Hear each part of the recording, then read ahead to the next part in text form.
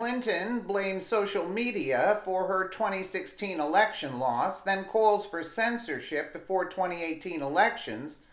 Twitter responds by Cristina Laila for thegatewaypundit.com. Twice failed presidential hopeful Crooked Hillary is still complaining about her crushing 2016 election loss, and now she's calling for social media censorship by the midterm elections. The Democrats, uh, quote, communists, know they cannot win honest elections on their ideas because they simply do not have a clear message that resonates with American voters.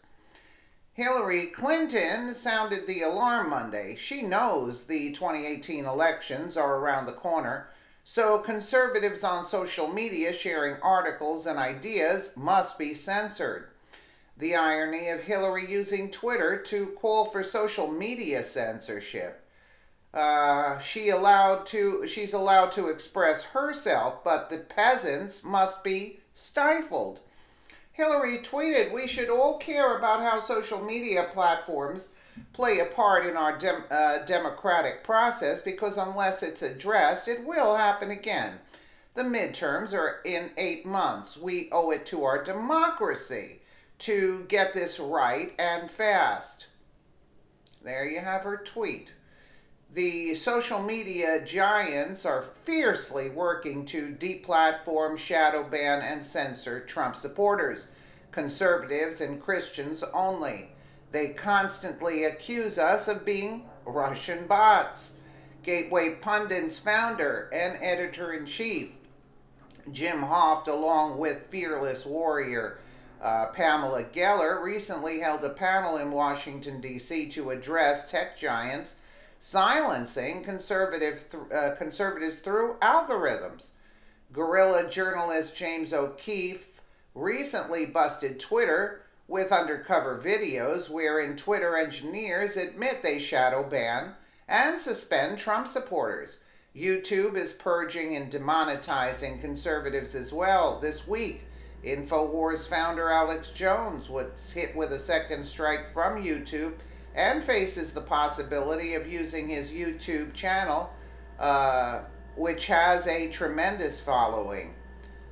Um, during the election, the Gateway Pundit was the fourth most influential conservative news source. Following the 2016 election, Harvard and Columbia Journalism Review funded research with money from the Soros Open Society to find out what happened. What they found was that conservative Americans wholeheartedly rejected the liberal media and went online and to social media to find the truth. Since the election, the Gateway Pundit has been continually blocked and shadow banned by Facebook, shadow banned by Twitter, sued and ridiculed by the far left and GOP elites. The left wants us completely silenced. Hillary got savaged on Twitter from conservatives. Gab, a social media free speech platform, hammered Hillary. Uh, you're not going to stop the free flow of information on the internet. You are not going to censor free expression. You are not going to stifle individual liber- liberty. Eat crap. Translated, the elite should start getting serious about the social media problem that exposes us all for our lies unless we start shutting those uh, plebs up. Uh, it will happen again. The midterms are in eight months. We owe it to our donor class to get this right and fast. Kafir, what a pathetic person you have become.